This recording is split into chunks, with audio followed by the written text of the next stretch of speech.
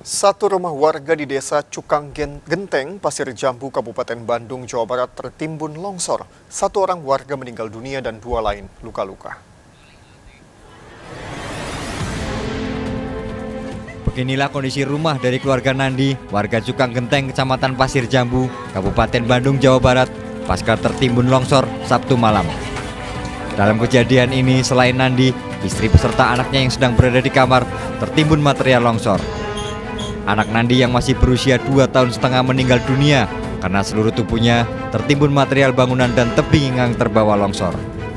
Saat kejadian terdengar suara ledakan, bahkan saat evakuasi mengalami kesulitan.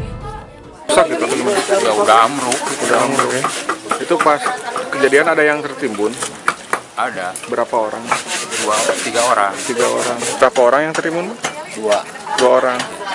Eh, selamat semuanya atau gimana satu mah anaknya meninggal, hmm? ibunya selamat. selamat